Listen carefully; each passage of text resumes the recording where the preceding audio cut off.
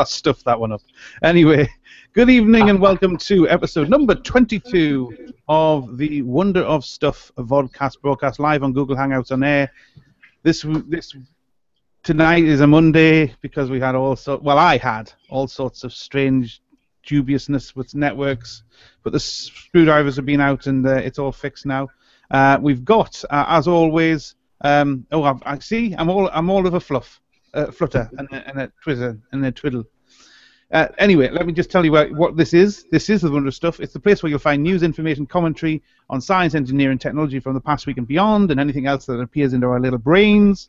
Um, my name's John Gardner, as always, and there's Ross and there's Richard, and we're all here. And um, uh, let's just get started. Uh, enjoyed, um, your, enjoyed, your, little dance when you forgot to switch your camera Yeah, I, I, I, was look, I was looking at the screen going, yeah, that's not right. I shouldn't be saying that. what I'm hoping for is that the, the thumbnail is uh, the choice of you dancing because that's definitely the one that's getting picked. yeah, we, we, were just talking before that uh, when when uh, when YouTube or uh, when Google Plus when it does a little thumbnail of the actual uh, the actual show, well, Google, you can choose it in YouTube, but in Google Plus, it just takes the most animated thing. so um, that's probably what you get this week. See who can uh, who can get it. Who's it gonna be? Ah dear. He was he's a, he's a disco king, you know, as Richard. what was that thing that he said? Do you remember that? Ross, oh, you something about he's dancing. Somebody, t- somebody, Somebody said professional dancer, wasn't it? It was a professional dancer. Yeah.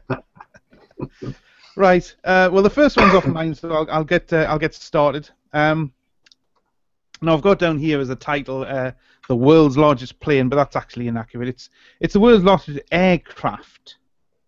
And uh, the reason why I have to be accurate there is because it's not actually an aeroplane. It's a it's a sort of hybrid, um, and it's a cross between an aeroplane and an airship, and uh, it's. Can I guess? Can I guess what it is? Can you guess what it is? Oh, I can't do Rolf jokes anymore. Uh, one of those. Uh, well, I know what used to be the biggest was one of those guppy type ones that they used to transport rocket parts in. So they had parts that couldn't be disassembled, basically. And I'm sure they were custom built by NASA. But did you ever see those with the? They were like the guppy yeah. fish that had the big. So it's not like lasers. But that was that, but that was just an airplane, though. Right. Okay.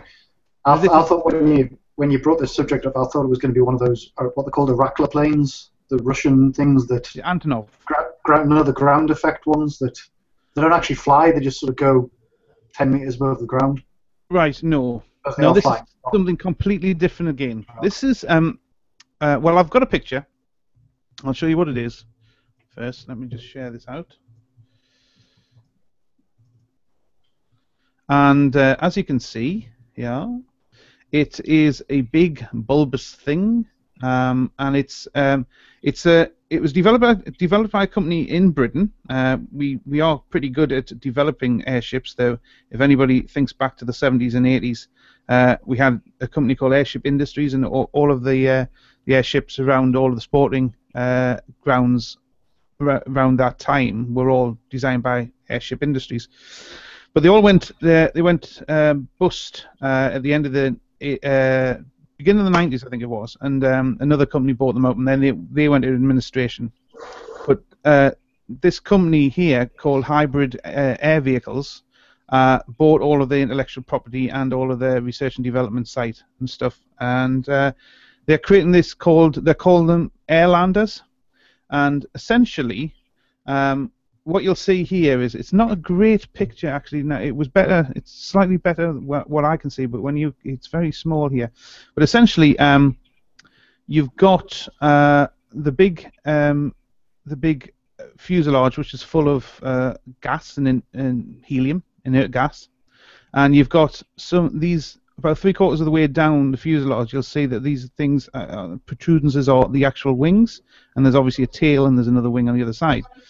Uh, now, what I was going to show you is uh, for people who just need to remind, remember about these things. Um, here's my little drawing. You remember about the Bernoulli uh, effect? Um, when you have uh, the whole point of how planes get are kept in the air is the Bernoulli uh, effect, which is an inverse rule where um, you've got fast airflow going over the top of the wing, uh, which creates um, less uh, pressure, and if you've got slow going underneath, which creates uh, more pressure and pushes and gives lift. Um, and if I just flick over here, here's and this the the thing about this particular thing is over a standard aircraft or standard airship is because as you can see by my it's very Buck Rogers actually I was drawing it but you'll see that the actual fuselage is is wing like so it actually creates lift on the fuselage and also creates lift on the wings and uh, plus the when you couple that with the fact that they've got they've got um, engines both sides here and on the other side.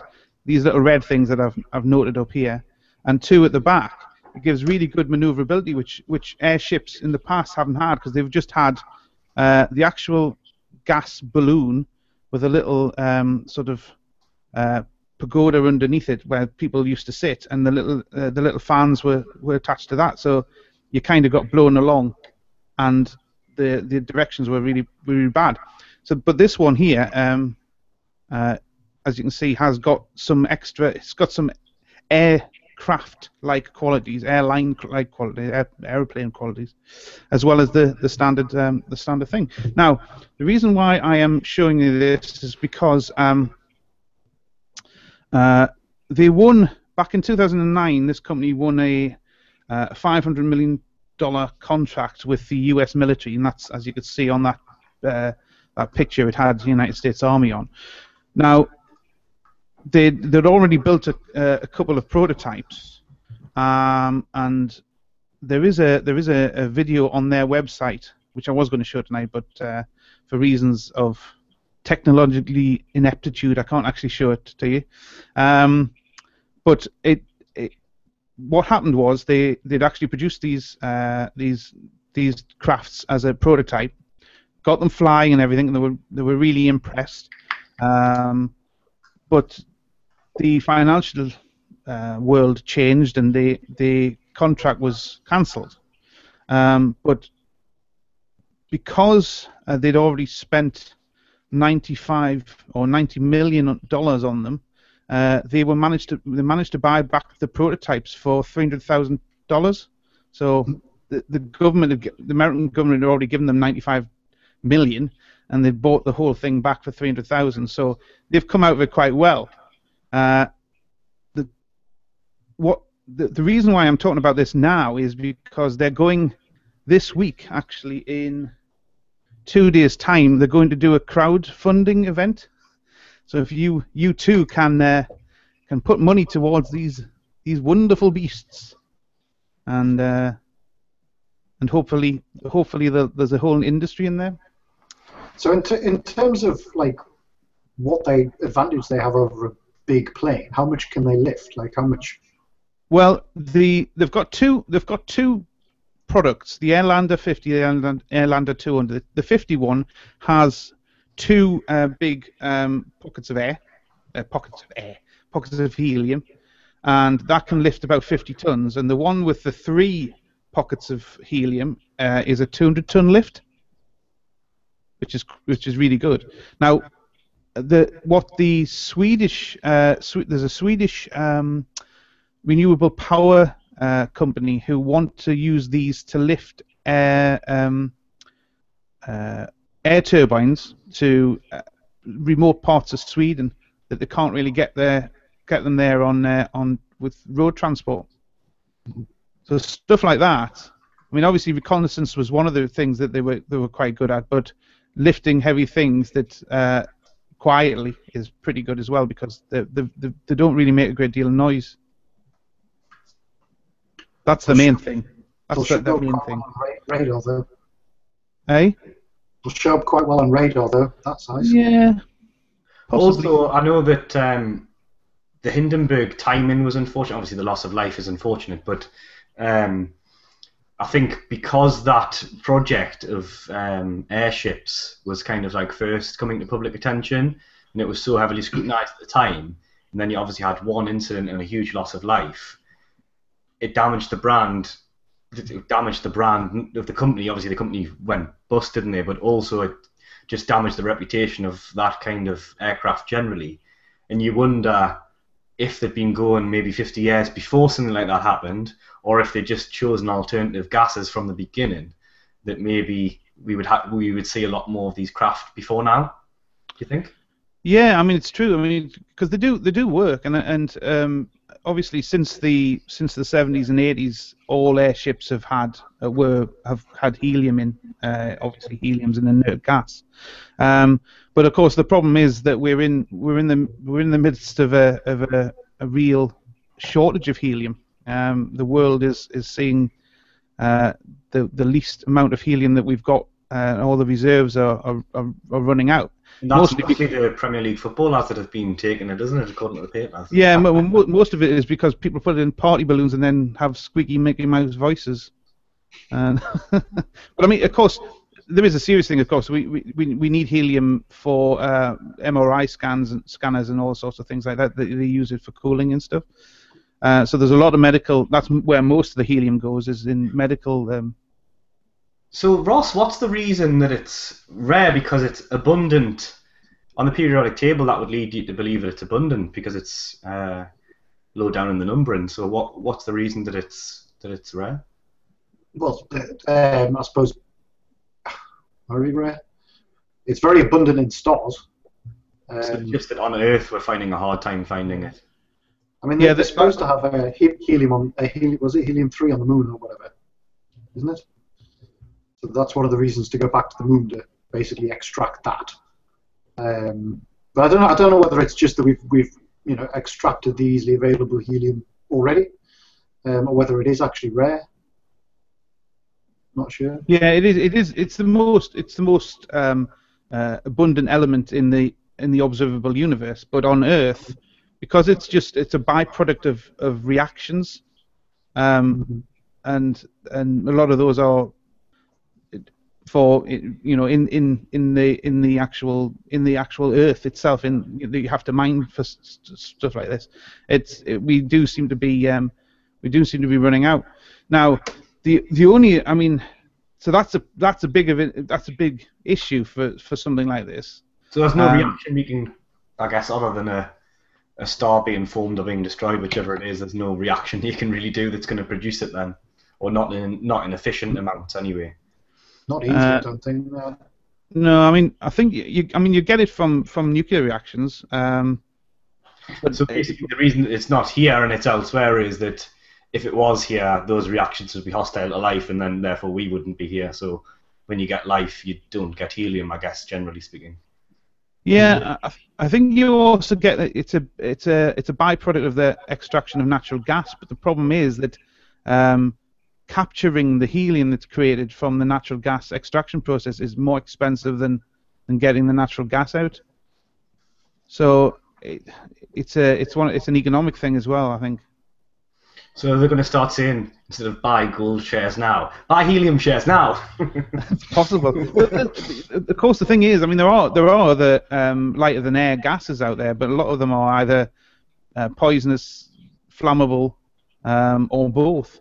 And the only other, I think, the only other real option is neon, and that's even that's even worse to get hold of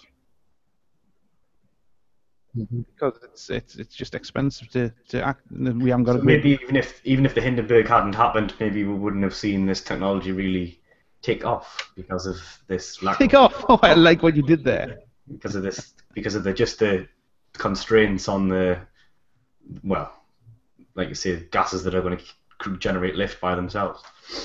It's true. It's true, but I, I, they are. Um, I just I don't know. I'm I'm I'm I'm really intrigued by the. I've always been intrigued by airships and and uh, things like that. You, you know what they could do? What they could do is just sort of like get normal air and make it warmer, because that that will get lift. Like like a hot air balloon. Like like a like a hot air balloon, yeah. yeah. Wow. I wonder why nobody's ever thought of that, Ross. Why has no one ever thought? Of that? But, but, but seriously, is it just that?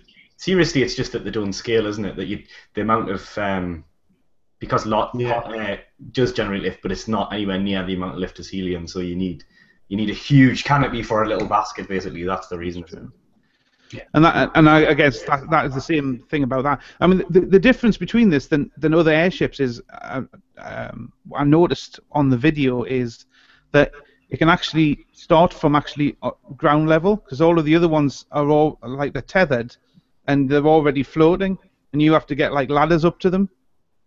But this is actually on the ground, and it actually it, yeah, it doesn't actually need itself to be creating lift. It can it can take off like an aeroplane. can't it? That's So- exactly. It can take off. Yeah. It can actually. It's a very. Sl- it, it can.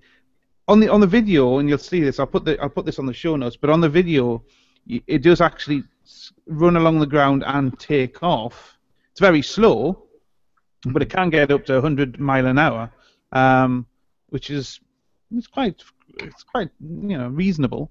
Um, but it it because it's so big, it just looks really slow and ponderous. So can it get faster than that in the air, or is that its top speed? Where where it 100, 100 mile an hour. That's about. I think that's about the top speed. Yeah. Yeah, so so- it's, it's not gonna. It's not gonna. uh, transatlantic flight would be a bit of a bit of a pain then. Yeah. Anyway, so that I, I thought I'd start with that one because it's interesting, um, and it's it's it's it's topical because they're trying to do crowdsourcing for the whole thing to, to refund it uh, this week. Um, so I'll put that uh, those links on the uh, on the show notes. How much are they trying to get from the crowdsourcing? Uh, another ninety, another ninety-five million. it's it's gonna be it's gonna have to be something like that, or else it's not gonna be economic. Really, I mean, they've got they've got to Why, why would I want? Why would I want to source that? because you're an entrepreneur who has you Oh know, right, what? that You get something back out of it, like, do you? They'll take you on a trip across to America or something. I don't know actually. I, I did have a look at it and I couldn't I couldn't I couldn't actually find what I would get out of it. It's crowdsourcing without uh, crowdsourcing crowdfunding rather um, without any getting anything back. It's Will benefit. I couldn't find anyone anyway. I mean, apart from the fact that I would like quite like it, I quite like to have a, a riding one, but um, but I don't think that was on the list. And it's not, and it, they're not using a website or anything. You have to turn up to, um, I think it's in Bedfordshire. You have to turn up to the to the to their hangar and, uh, and pledge the money there. So, anyway, that's uh, that's enough of that one.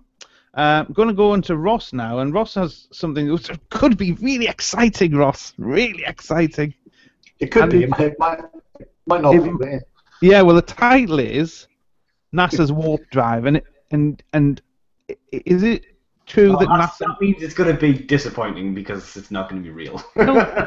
Shut up, Richard. You, Shut up. you Richard. never know. Your negative attitude.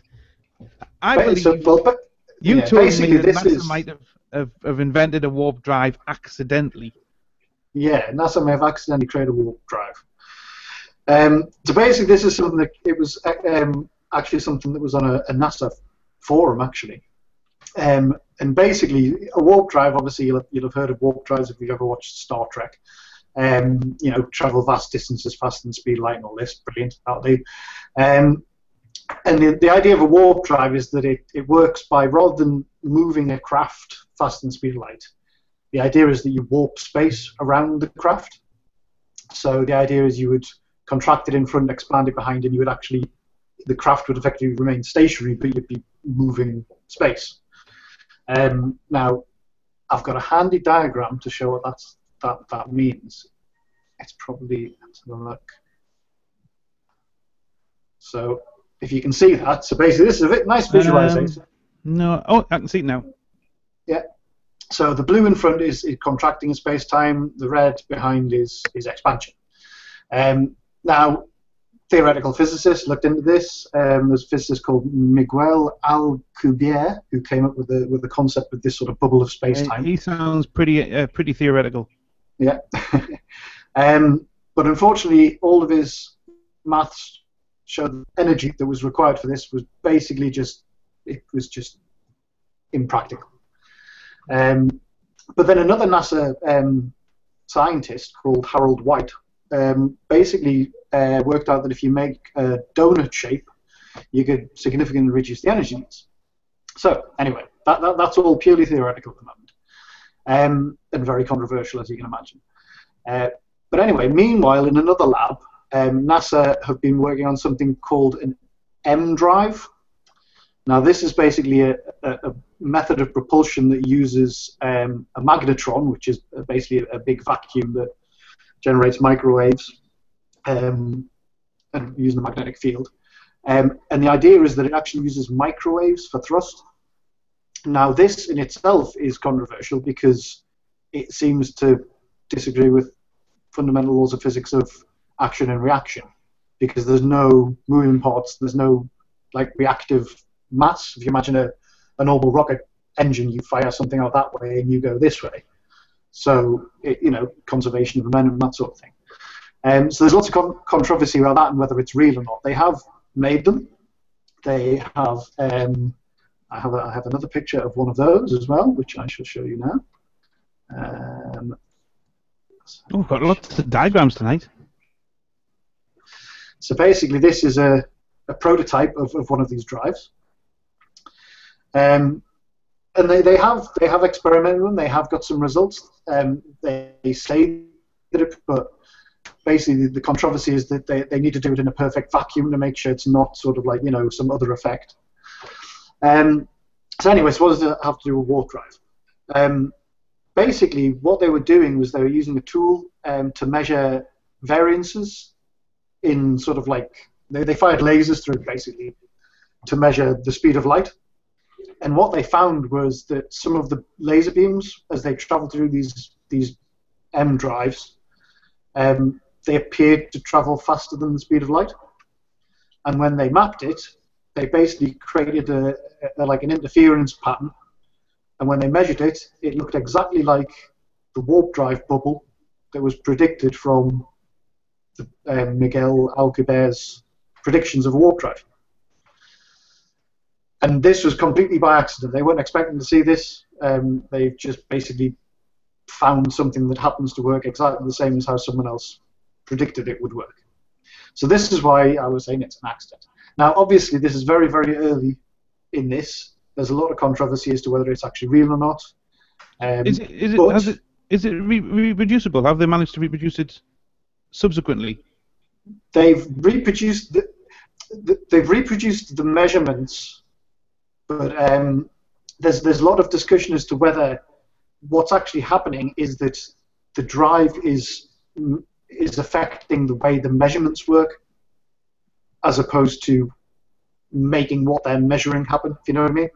So it's one of these things where if the effect of, of it happening and the effect of the measuring it happening are the same thing, but obviously one's more likely that it's actually the measuring device which is getting affected in some way.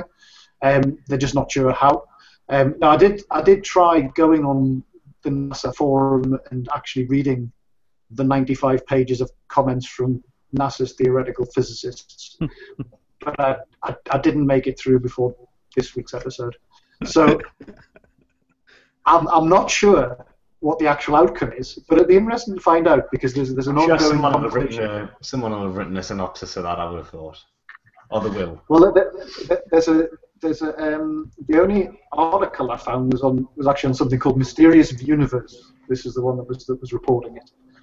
Um, so it's it's it's up in the air at the moment, and we'll see what happens. But if they do create if they do create a warp drive, it basically means that that obviously there's the fundamental laws of the universe that you can't you know physically travel faster than the speed of light, but warping space is what you know obviously science fiction is used. It's used black holes and stuff like that, warp um, wormholes, um, and warping space seems to be a, a I was going to say practical, a maybe not practical, but a, a, a potential way of traveling to nearby stars, um, because obviously just traveling the speed of light is, is takes up an exponential amount of energy, and you would take time. You know, it's still to take time to get there, and you've got the effects of you know general relativity and aging and this sort of thing. But if you could warp space around you and bring effectively bring the far objects close to you, um, that, that, that, that would work.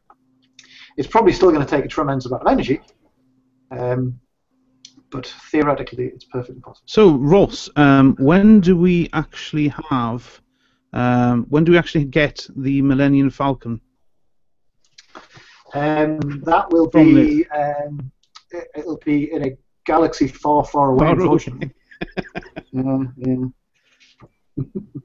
Well, it's it, Presumably, uh, presumably the I've always wondered this about Star Wars. You might know by, you might know if you know some of the, the myth around it, but, um, presumably they did start here though because they're humans, aren't they? No, no. Like some of them are- Well, some of them are humans, aren't they? No, no, they're not humans. Are they not? No, I don't think so. Luke right, so Skywalker. they are. Luke Skywalker's a human. Yeah. Hmm. Han hmm, Solo's Han Solo was human. They just look human. All right. I don't, I don't think humans ever. I don't think humans ever mentioned in Star Wars. We'll have to look this up. It's just yeah, okay. That's just the species that you relate to, basically. Mhm. Oh no. We'll find out when we get the new films. I think Sorry, you John, find I'm cutting you here, it states here in the Wikipedia Oh, that Han Solo was a human smuggler from the manufacturing planet Corellia. So no. originally, originally must have come from Earth then. Well, Well, humans come from Earth. I don't know if you're aware of that. I mean, unless of course Earth just doesn't exist in this fictional universe, I suppose. I. Doesn't Star Trek? Is, Oh, is, that, is that humans in the Lord of the Rings thing franchise? There is, isn't there? Well, it is. It is Earth, Middle Earth. Yeah, but it's, it's not Earth, though, is it? It's a different Earth. It's a completely different planet. Anyway, I digress. So I was anyway, going to just, suggest that that we're humans and they used a warp drive to get to a galaxy far, far away. That's what I was going to say. Not possible. Um, but anyway, I'll, I'll, I'll, I will keep an eye on this and see if I can find, like you say, someone at some point must make a very simple explanation of why this is a load of rubbish or not. Um, but as I, as I mentioned, that let's have a look and see what I'll see how many pages the message board's got up to now, because I imagine it's got up quite far. So on 103 pages now. I reckon How you'll many? have um, Michio Kawa, or whatever he's called, you'll have him coming out saying, yes, this really will happen, and then you'll have Stephen Hawking coming out going, no, this won't happen. Yeah, I mean, the, the, there's people are talking about copper frustum reverse thrusts, thrusts at 1,937 megahertz with 2.1 watts average. leave Chris, leave Chris out of this.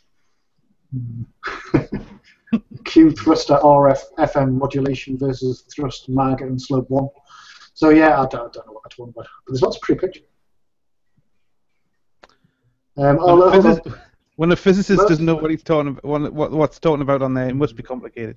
Well, look, if you'd said if you'd said this, if you'd said to people 50 years ago that would have um, magnet-driven hovering trains that have just broke, broken the speed record, people would probably say ridiculous. Yeah, so- maglev. Yeah, that's true. Yeah, yeah. How fast did that, that train go in Japan? It was was it 600 and something miles an hour? Yeah, I think No, can't.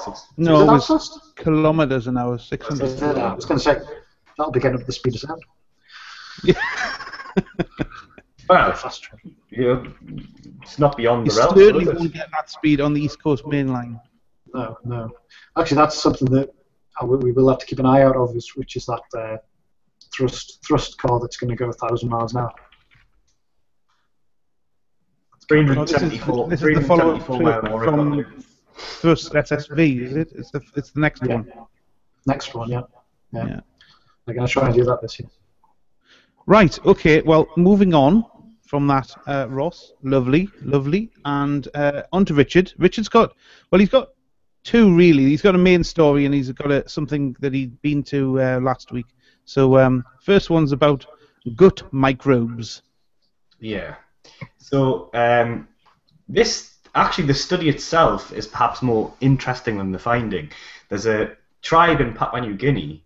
Um, I don't know if this comes as a surprise to you, but it was a little bit surprising to me. But they've been completely isolated from human contact for well for as long as history records, basically 11,000 years. Um, and they had so they knew of us, they knew of outside humans. They had words for planes and things like that, uh, planes and helicopters, but there, there'd been no direct contact whatsoever, which means that they've had no Western medicine, no antibiotics, no um, um, sewage systems, no, nothing like that. So what they were interested to look at was to see how much a Western lifestyle, a modern lifestyle, um, differs from from these native tribes people in terms of gut microbes.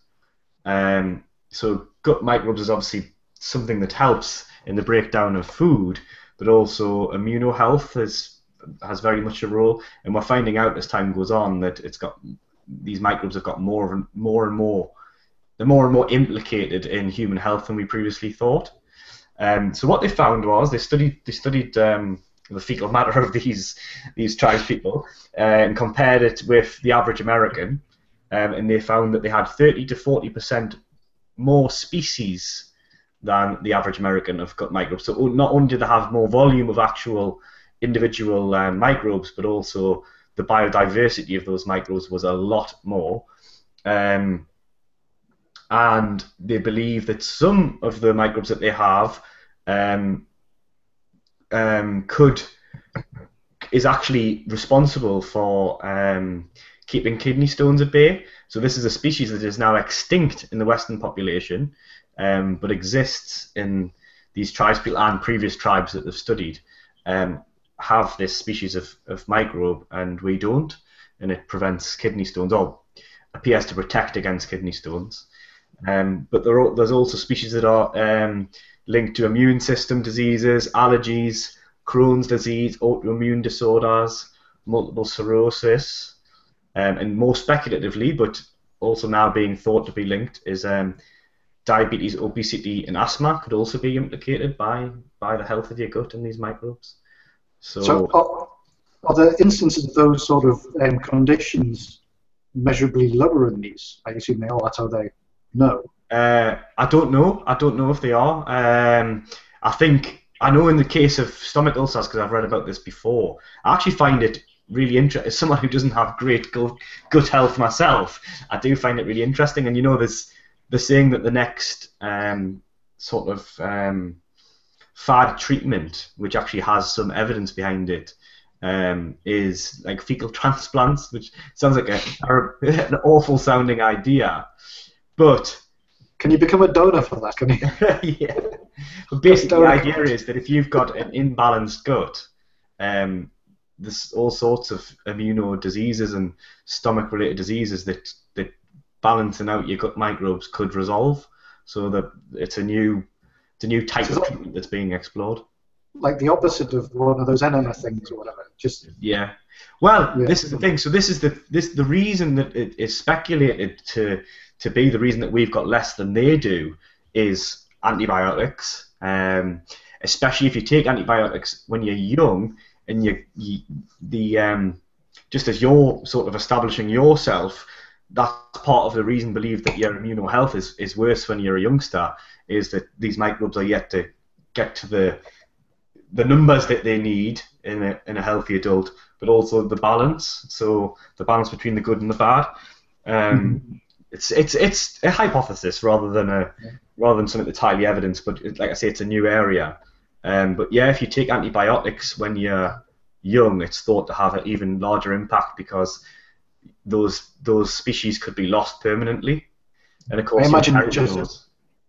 I imagine just diet as well will have a big effect on it.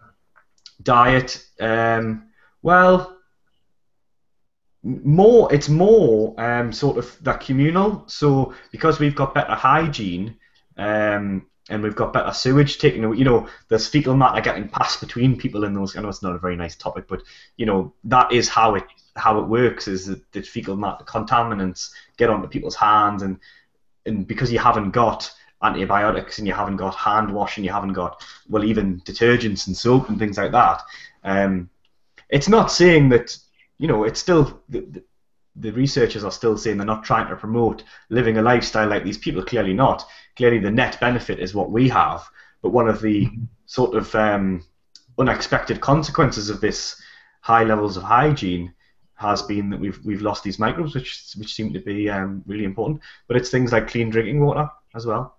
Um, That's one of the major ways that you would, you know, if you're sharing contaminated drinking water, you get these gut microbes into your system. Um, Could also get dysentery. Yeah, exactly. So But obviously, what you want to do is what you want to do is if you find out these communities do have less of these disorders, and you you do a follow up study and you establish that, then potentially either a fecal transplant, you know, which is obviously completely sterile, and so then you're safe from any of the bad stuff. You just get the the goods. Well, I'm saying completely sterile. I guess it won't be sterile of the of the. But yeah, you, you, you treat it in some way so that you don't get dysentery, but you get the microbes, and that would be the best of both worlds there. But it, it, it's interesting because uh, uh, it's one of these old, I don't know, you know, it's an old wives' tale or an old mother's tale. I mean, my mother always used to say that, uh, you know, you'd have to go out and play in the dirt because that would help build up your immune system. Um, and she's always been against this thing in in the 21st century where everybody has to be clean all the time and keep cleaning them and cleaning them. Well, Ross is a bit like that because Ross and I remember having this debate before about things. I mean, it, it, it's what you said before, though. It's it's a balancing act, isn't it? That you don't obviously you don't want to promote. Um, you know, if you have a baby, you don't want it getting in the dirt in case it gets botulism or something like that, which is obviously the consequences of getting that is a lot more. You know, it's risk, isn't it? That you you know, if you get that, the baby could be a goner.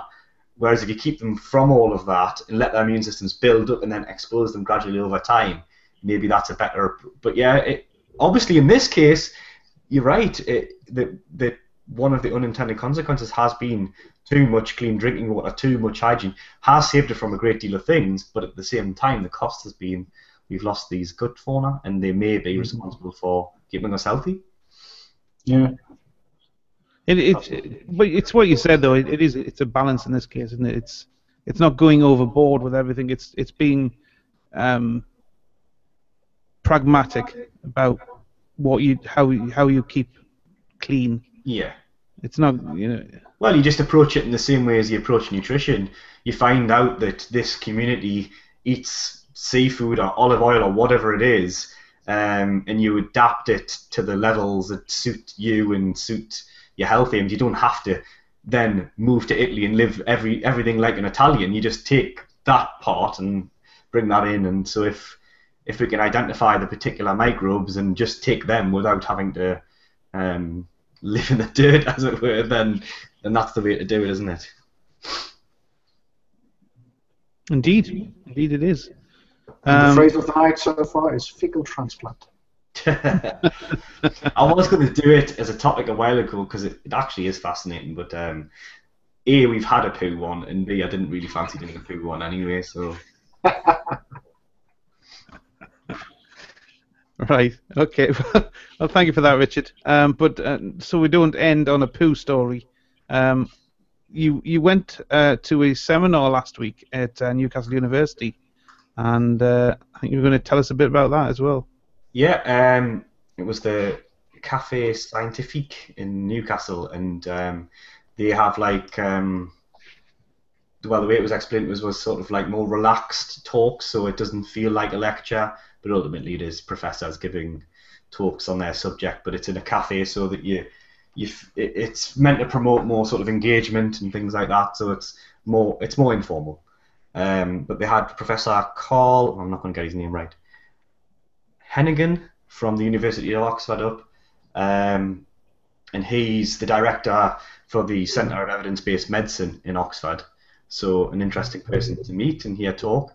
Um, but he was talking about dangerous drugs and deadly devices, and the theme was, uh, well, the way I interpreted the theme through the talk was that um, it's surprising how little you have to do to get a drug to market, and how even less you have to do to get a medical device to market.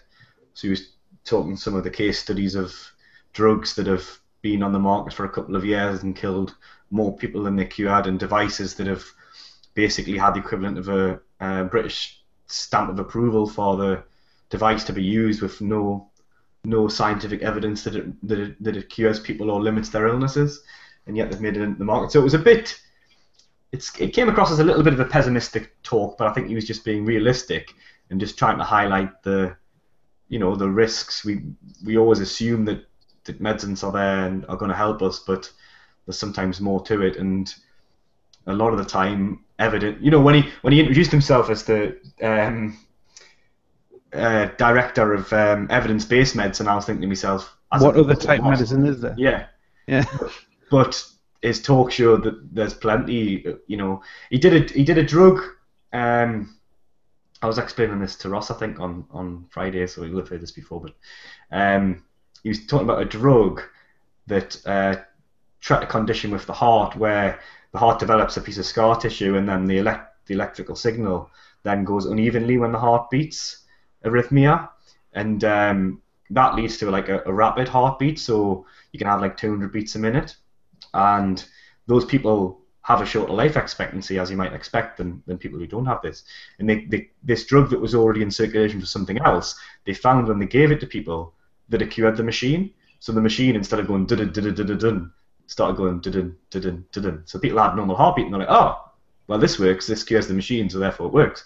So they gave it to the American uh, public, um, and I think it might be in the 60s, and um, basically, long story short, it killed it killed 50,000 people when they when they went to do an evidence-based trial of it. They trialed it versus placebo, and it killed 50,000 people more in a two-year period than placebo. So it was killing people. It was actually giving people heart attacks, and not curing them from risk of heart attack. Um, so it killed. Was this ever made public? Because I don't, I don't recall hearing anything yeah, about it. well, this was his point that it, it killed as many Americans, nearly as many Americans as the Vietnam War, and yet it's not really something that's that's well known or well documented. But he gave his talk was basically two hours of giving case studies like that. It was really interesting, but um, So giving examples very- like that where Very where- similar to what um, Ben Goldacre would do then. yeah, he was he, he actually referenced Ben Goldacre, and he was he was a little bit like that. Um, but yeah, more people like him, please, is, is my opinion. Um, Yeah, absolutely. Yeah, for, yeah, for just- those just- of you, for, for the for the viewers who haven't read any Ben Goldacre, he's got a series of books um, along the, the titles of Bad Science and um, and also his website's pretty good as well. Uh, and his Twitter feed, he's al- he's always um, he's always showing uh, evidence of of bad science all over the place. So it's nice to know that there are. It's not just him uh, on a lone furrow that he's Yeah. treading. So, Well, so this bloke, he was, he was the professor of evidence-based science at Oxford, or for like sort of the scientific community? Was it just an Oxford position? He's the director of Centre for Evidence-Based Medicine at University of Oxford. So I don't know whether or not that means that there's other centres for evidence-based medicine at other universities, or this is the UK's main one. I'm not sure, but um, I think he's a leading, a leading person on this on these matters, and he's he talked about how he was a um, external consultant for the Tamiflu debacle. You know, when we bought Mm. basically loads of Tamiflu that didn't work. Um, Yeah. But actually, what I asked them, we had an opportunity to ask him questions at the end, and I was asking them what I've heard of a concept before called the sunken losses fallacy. So it's the it's a psychological thing where he didn't actually use that term, but it, it's, he seemed to be very much saying with the Tamiflu and others, what happens is the investment. So they put 15 million or whatever, 15 million or 15 trillion investment in, and then um, it comes to renew it. I think it was 15 billion maybe, and then they came to renew it, and it was going to be 30 billion. But because they'd spent the 15, they kind of oh we'll have to spend the 30. Um, and it seemed to me just to be a, a psychological thing rather, than looking at the evidence. Does this work? This is another 30 million on top of the 15 we've already spent. It seemed to be a case of well we've sunken this cost in now We can't face, yeah, to Yeah. save face, we've got to carry on. Yeah. And it's this kind of thing that you, you see when you know someone who's doing a university course that they really hate or reading a book that they don't even like. Mm. That that's the name of the of the of the sort of bias where you stick with it even though you're not enjoying it, even though it's not good, or even though the evidence is showing that it doesn't work. Your sort of inbuilt cognitive bias is saying, Yeah. "Well, you've committed now. Just carry on with that." Yeah, you're you're already invested, so But the way to the way to get out of it, I mean, he he answered the question by saying more transparency, but I guess more broadly, more evidence-based science, more public understanding of that, and then these mistakes won't happen because the public would be jumping on it straight away, saying, "No, this doesn't this doesn't seem to work. Why are we investing in this?" Um, but I don't know about you guys, but I don't feel as though we're moving in that direction with the whole Professor Nutt thing, and then you know, you've only got the Lib Dems who are saying that they would, um, you know, legalize cannabis, reduce um, barriers to access for medicinal drugs, and you know, Well, that's the, that's the trouble. You get you get people who bring up the evidence, and because it may be um, evidence may be unpalatable, people get up a hide about the fact that what they're saying is sounds terrible. It's like you have to be sort of more impassionate about it because if these are the facts, yeah. Whether you like it or not. But yeah, that's. I guess, well, I guess it's a, it is a tricky one because I guess MPs argue that, or legislators argue that it's not really about the evidence; it's about Public relative harms and, and what's right for the public, and it's a very complicated thing. But where there's Yeah. a clear hypocrisy, that's that's what annoys me is when you know tobacco and alcohol are legal, and you know we don't seem to, you know, if you want to run the argument the other way, rather than it's not it's not necessarily people like you and I, or maybe the three of us, I guess. It's not the maybe that we're for decriminalisation of this specifically. It's that we're saying, look, if you if you're not going to decriminalise that, you need to criminalise that then because it's a hypocrisy. It's not necessarily saying decriminalise more stuff.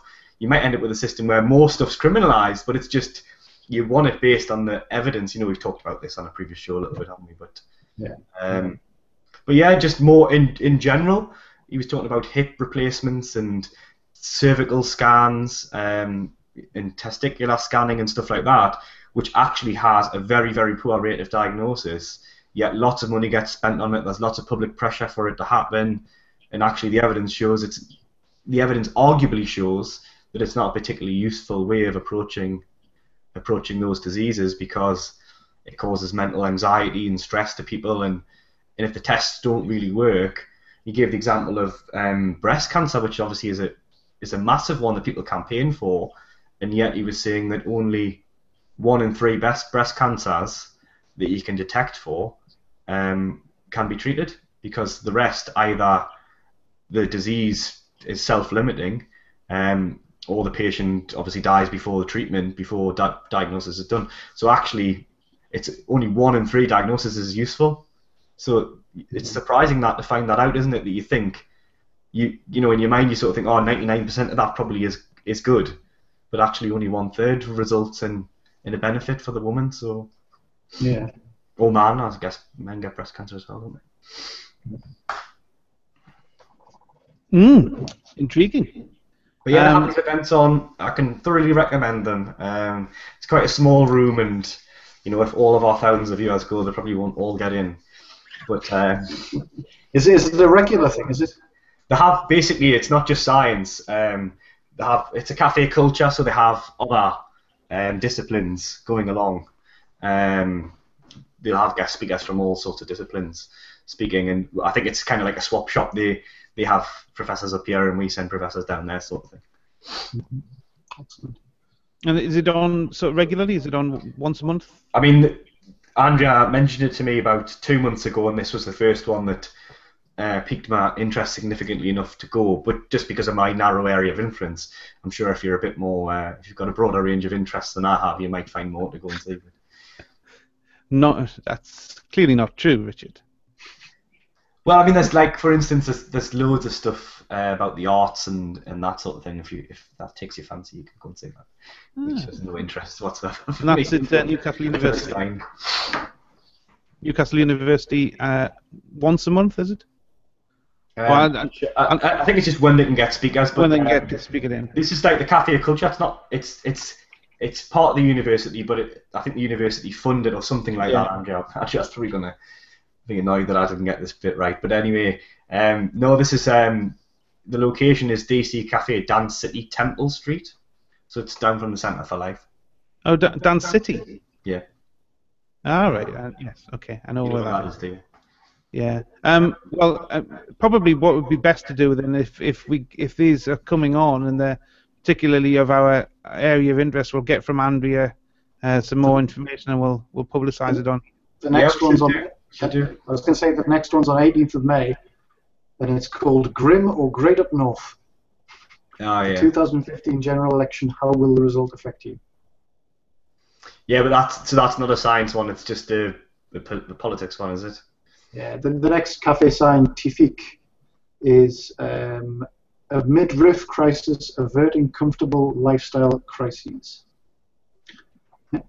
On the first. These things are always more interesting than the title. You know, they're more, they're always more interesting than the, you. It's you shouldn't really judge it off the title because they can be really quite fascinating when you get into them. Um, Can Right. women do science? yeah. That's a good. one. Can women do science? Well, Yes. I don't think you even need to go and Yes. see. That's, that's a short one. There you go. and then you can go and have a beer. Actually, we should do a thing on we should do a thing on bias at some point because I think it's a fascinating area. But just on that particular subject, I saw a thing where it was saying they were asking women and men, who would you prefer to have as an engineer? Who would you prefer to have as a scientist? And it was interesting that, um, by the way, this isn't an argument. Um, this isn't an argument that we shouldn't be doing more for women. We definitely should. But it was also interesting to see that women had a lot of bias towards men by the same token. Um, you know, women were preferentially choosing women, um, which they're probably right a lot of the time, to be fair. But um, yeah, that. But bias works in, in counterintuitive ways as well. So, um, but yeah, it was great. So I'd recommend it. Excellent. Well, that does bring us nicely to the end of the program this week. Um, hopefully, we'll go back to the our normal time of Sunday evening. Although saying that, it's a bank holiday Monday. It's a bank holiday next week, so we don't know. We know what we're doing next week. Should we just say Monday then? Monday, we Um, can do that. Probably Yeah. should. Okay, so next week it's going to be a Monday, and so it's Monday this week, Monday this week, uh, next week. Then we're back to the Sunday night, uh, same time, eight o'clock, um, uh, BST. Ni- that's 1900 hours GMT, and uh, um, if you, I, I noticed there is a one viewer. There's one live viewer here tonight. I don't know whether that's Rob. He hasn't. If it is Rob, he hasn't commented. So, if you are the live viewer who is streaming, um, please tell us about yourself. Oh no, it is Rob. It will be Rob. Yes, he's there. yes. Um, uh, but if if if you know of anybody else who would in, be interested in this, tell them to come in. Tell them to come in. We'll join our little cozy little chat room here, and uh, if not, you can obviously watch the archive on uh, on YouTube. Um, as always, we've had our Twitter handles on tonight. Uh, our email is wonderstuff at gmail.com. Our URL is wonderstuff.blogspot.com. Come, come, be merry. Tell us about uh, what you think of us and any topics that you want to discuss. Okay, that's it for this evening. Thank you for watching and uh, goodbye. Goodbye.